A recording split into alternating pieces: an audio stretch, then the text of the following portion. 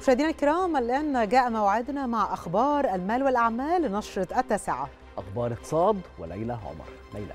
شكرا محمد شكرا. أدا وننتقل لمتابعة أهم وآخر الأنباء الاقتصادية في نشرة التاسعة.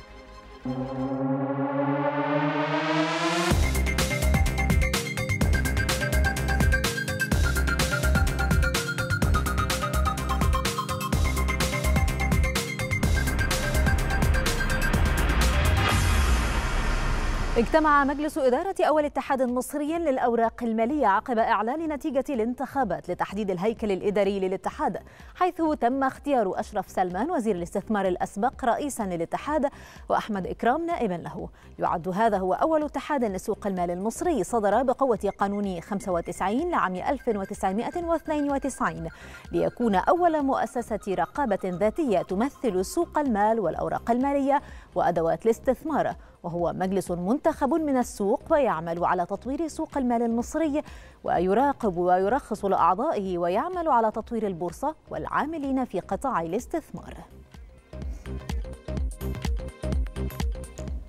شاركت تنسيقية شباب الأحزاب والسياسيين في منتدى التطور التكنولوجي الصناعي الروسي والشراكة الاستراتيجية لأعضاء تحالف بريكس المقام في مدينة نوفوسيبيرسك الروسية بمشاركة أكثر من 15 دولة.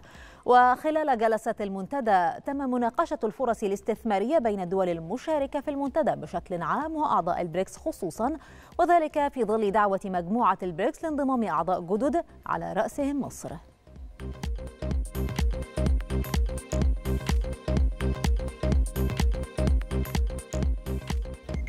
قال وزير مالية جنوب إفريقيا إينوك جودونغوانا إن مجموعة بريكس لن تتطلع إلى استبدال أنظمة الدفع الدولية بما في ذلك سويفت ولكنها ستدرس إنشاء نظام من شأنه تعزيز التجارة بالعملات المحلية. وأضاف أن إنشاء عملة مشتركة لمجموعة البريكس وهي الفكرة التي طرحها بشكل خاص الرئيس البرازيلي لولا دا سيلفا لم تكن على جدول أعمال وزراء المالية خلال الاجتماعات مضيفا أن تنفيذها سيكون إشكالياً.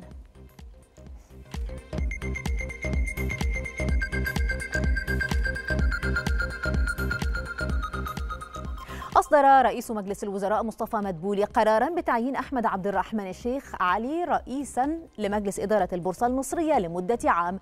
من ناحية أخرى أنهت البورصة تعاملات الجلسة النهائية نهاية جلسة الأسبوع بارتفاع جماعي للمؤشرات مدفوعة بعمليات شراء من المتعاملين العرب.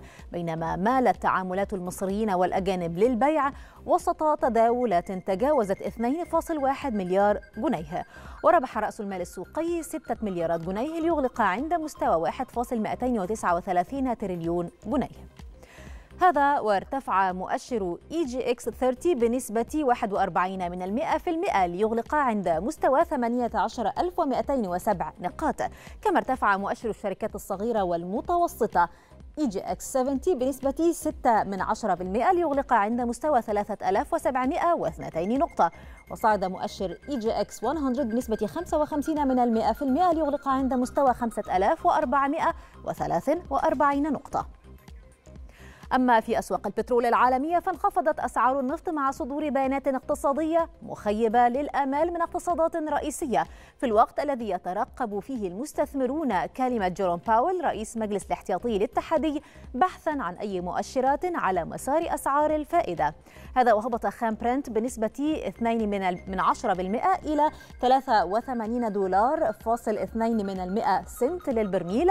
كما تراجع خام غرب تكساس الوسيط الأمريكي بنسبة 3 من 10% إلى 78.65 دولار للبرميل بينما ارتفعت أسعار المازوت عالميا بنسبة 46 من المئة في المئة لتصل إلى 3.11 دولار للتر هذا وانخفضت أسعار الغاز الطبيعي بنسبة 2.24 من المئة في المئة لتسجل دولارين و44 سنت لكل مليون وحدة حرارية بريطانية.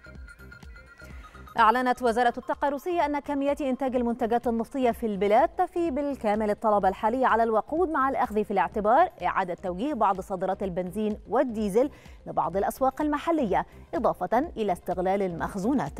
وذكرت بعض وسائل الإعلام المحلية أن هناك نقصا في الوقود في أنحاء روسيا حيث أدى تراجع قيمة الروبل لزيادة ربحية الصادرات مما سهل عمليات الإمدادات للخارج.